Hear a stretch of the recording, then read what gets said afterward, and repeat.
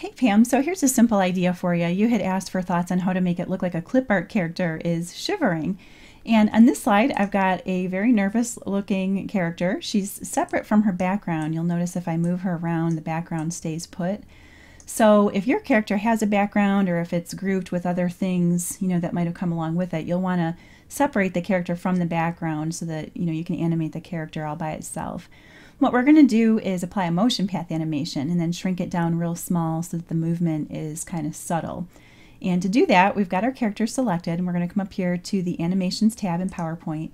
We're going to click this little arrow right here to get the drop down and right down here at the bottom we've got this option called Custom Path. That's the one we want to choose. When you do that, you'll see that your cursor changes to this little crosshair icon, and then you can draw the path that you want the animation to take. So I'm going to click right in the middle of my clip art character here. And I'm going to hold my mouse button down and just do kind of this scribble motion here. Kind of just go up and down several times. It doesn't have to be precise at all because this is going to be kind of a subtle movement when we're all done. I'm going to release right there about in the middle. And you can see initially the movement is going to look very dramatic as you just saw, but what we can do is zoom way in to get a real close look at that path and we can resize it. So I'm going to hold on my control key here and scroll my mouse wheel forward so that we can get a nice tight view of that motion path.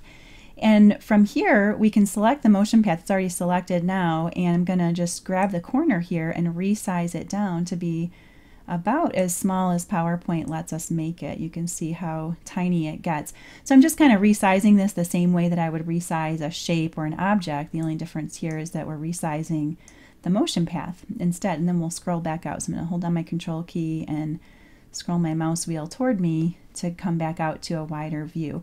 Now once you've got your animation in place like this, you can sync your animation with your audio if you want because over here you can see how it defaults to being on-click animations. That means you can use Presenter's Sync Animations tool if you want. Or if you'd rather have the animation start right when the slide starts, you can come up here to this Start item right here and change this to With Previous. And that way the animation is going to begin as soon as the learner arrives at the slide.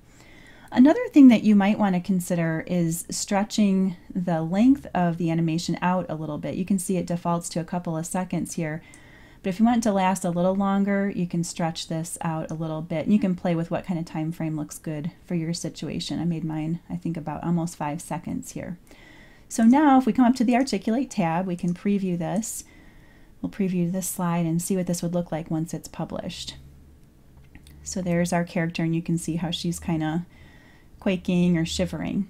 So I hope that that gives you maybe some ideas that you can run with. I'll go ahead and attach this file to the forum conversation and uh, looking forward to hearing what you do with this.